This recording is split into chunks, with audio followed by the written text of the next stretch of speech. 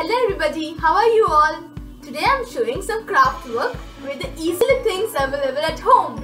So stay tuned with me for the full video and follow the steps, you'll be able to make this very easily.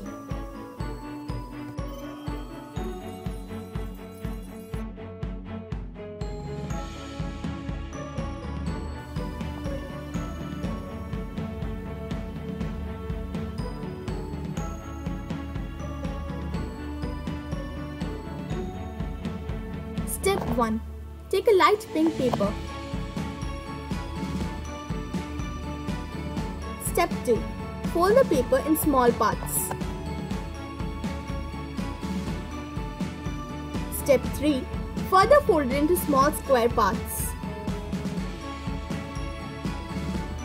Step 4. Draw a heart shape on one of its sides. Step 5. Cut them and you will get many pieces. Step 6.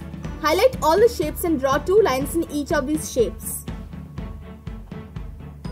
Step 7. Cut in the same way yellow colored heart shapes. Step 8. Highlight these also and draw two lines in the same way as in step 6. Step 9. Take a light green colored paper. Step 10. Cut out long grass blades out of that paper and make 3 or 4 copies of it. Step 11. Highlight these grass blades and draw one each straight vein through all these. Step 12. Cut out decorative leaves and also from the same green paper. Step 13. Highlight the leaves, also draw veins on them through these leaves. Step 14. Arrange them in this way of a garden format. Fill between all the flowers using any colors and make buds. Step 15. Place some decorated color paper butterflies above the garden. Step 16. Color the sky and land using pencil colors.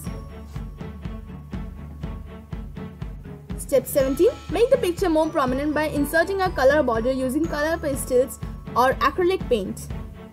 And here is a beautiful garden of craft paper ready.